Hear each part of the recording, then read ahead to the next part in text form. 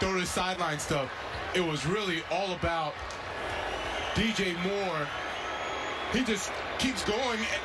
And, I have no idea why everyone slowed up. They should have never slowed up. Rashaan Evans, he's supposed to be helping play the middle of the field with D. Marlowe. Third and four. And incomplete. Greg Dortch was hired. It's fourth down.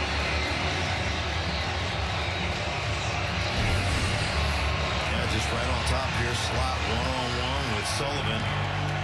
Breaking on the ball. Well, here's a little speculation, Mark. I mean, you're the analyst. If you knew with this kind of distance you were going to go on fourth, maybe a running play